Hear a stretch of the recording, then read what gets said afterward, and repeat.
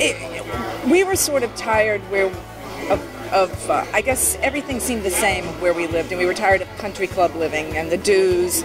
And this seems to be diverse and younger and More and urban. more urban, much more urban, and we, we like that. I like to see the kids Yeah. out playing. I like people Well, walking their dogs. Yeah. It's We lived in Manhattan all our lives, so we're used to a million people on the street.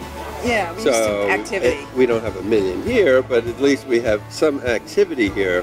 Whereas in most of the uh, gated communities, you don't dead. find that anybody on the street.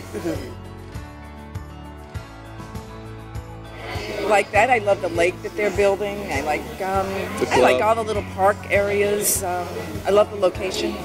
Location is going to be perfect. And then uh, the new LA Fitness and Publix and uh, that whole development that um, I forgot the builder's name. Andy Brock. Oh, Andy Brock. Andy Brock is building there five restaurants, and you could take nice. your bike over there, golf cart over there, or whatever you want. You know, I like it's so close. So that, that that's convenient. That's uh, really nice too.